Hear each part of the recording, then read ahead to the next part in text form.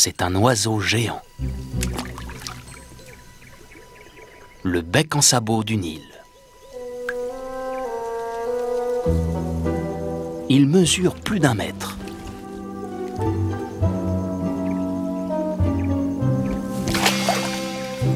Cette femelle tente d'attraper des poissons.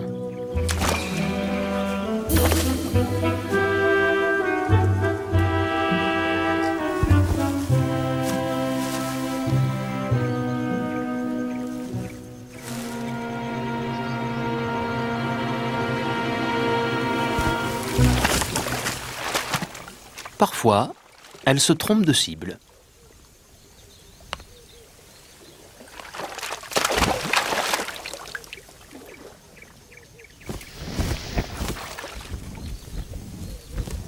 Elle ne pêche pas seulement pour elle.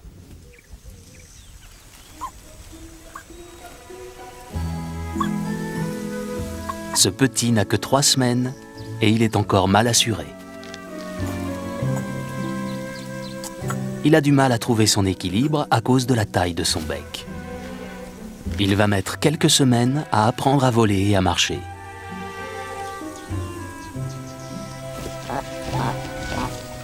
Il dépend de ses parents qui lui apportent eau et nourriture.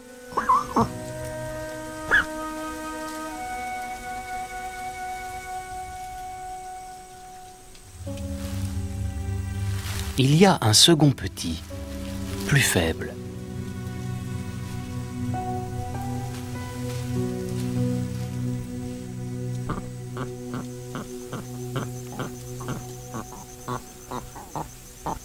Le premier réclame à boire.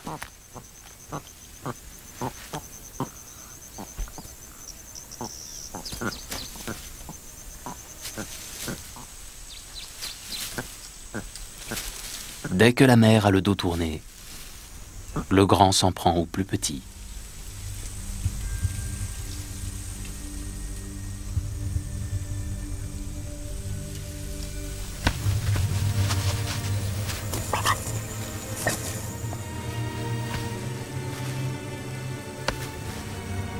Il n'a que trois jours de plus, mais c'est lui qui a le dessus.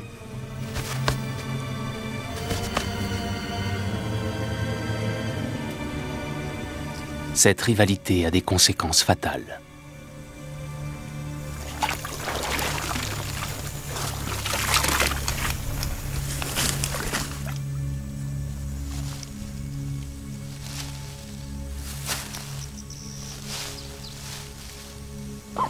À son retour, la mère voit ce qui s'est passé.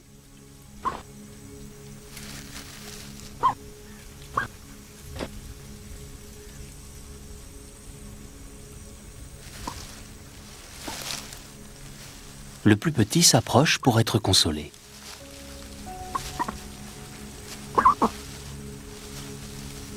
La mère est intraitable.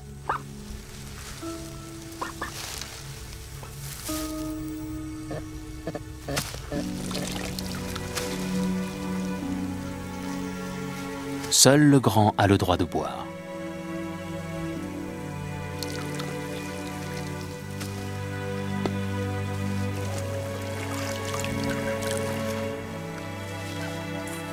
En général, les becs en sabot n'ont qu'un seul petit.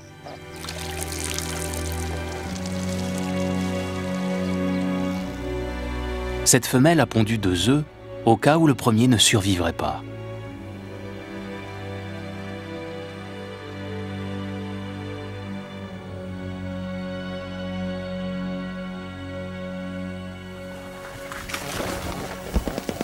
Maintenant qu'il est grand et en bonne santé, elle préfère concentrer ses efforts sur lui et délaisser l'autre.